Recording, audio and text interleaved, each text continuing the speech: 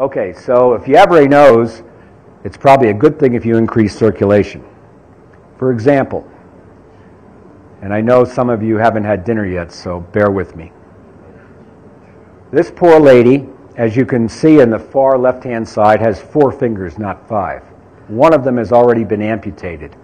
Why do you amputate a finger in a patient with Raynaud's disease? Because the circulation is so poor that they eventually get ulcers and gangrene and they have to cut the finger off to save the patient. This poor lady had uh, Raynaud's disease and scleroderma on top of it. And the little description down in the lower left hand side, I'll read it to you if you're in the back of the room. She had these three ulcers on her fingers when we saw her. And it was looking kind of bad that she may lose one or more of those digits in addition to the one she had already lost. These are the treatments she had received over a six month period prior to July of 2005 in 19 office visits to physicians. She had received Vicodin, Percocet, and Methadone. Those were three for her pain.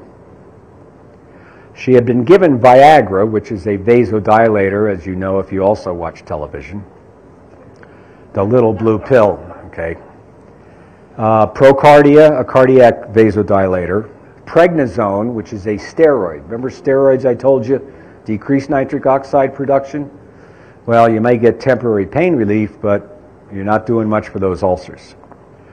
She was given carpal tunnel surgery, she had both uh, nerves on both of her arteries in her wrist cut uh, to try to increase circulation. Nothing worked. So here she is with all those treatments over a six month period. On the right hand side is a picture of her same hand two weeks after starting infrared light therapy.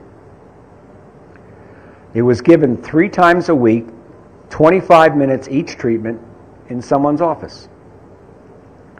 The results at two weeks, as you can see that one finger, the ulcer is virtually gone. Her pain is now significantly reduced. Now, why would that be? Pain, cyclic GMP, just like morphine, nitric oxide, nitric oxide. Okay, okay. Ulcer goes away, better circulation, pain goes away. Her range of motion is now beginning to increase. She was working with an occupational therapist.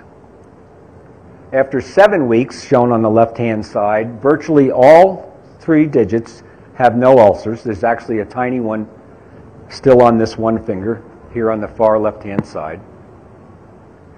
At this point, seven weeks in, she's off all of her narcotics.